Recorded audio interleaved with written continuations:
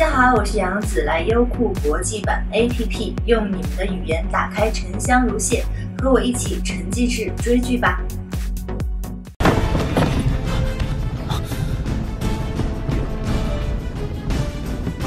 我没事。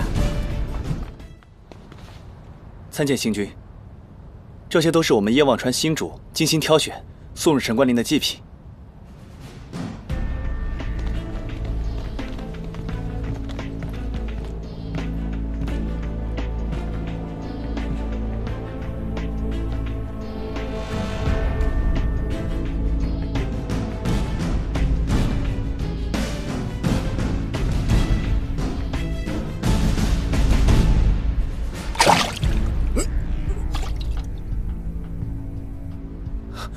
吓到星君了，请星君降罪。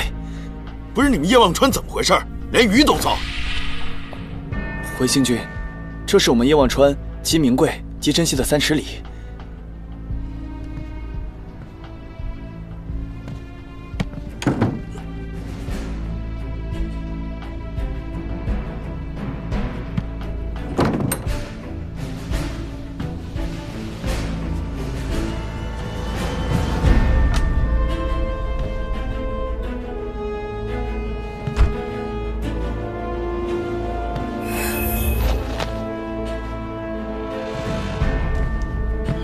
行了，你们走吧。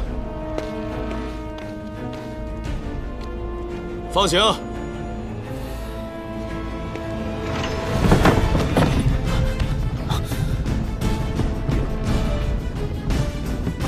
我没事。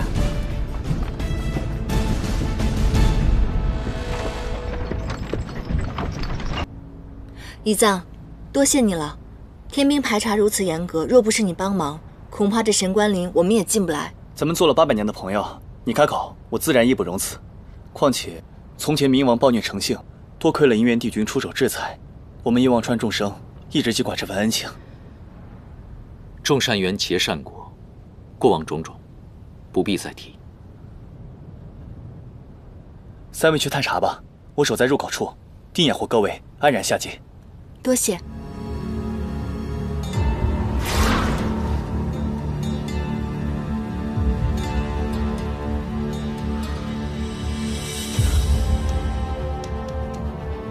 是新月形状。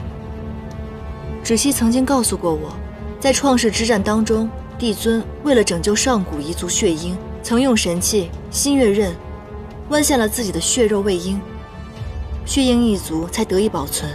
可他身上的伤口却永远无法愈合，形状宛如新月。这是帝尊割肉喂鹰留下的疤痕。这具仙身。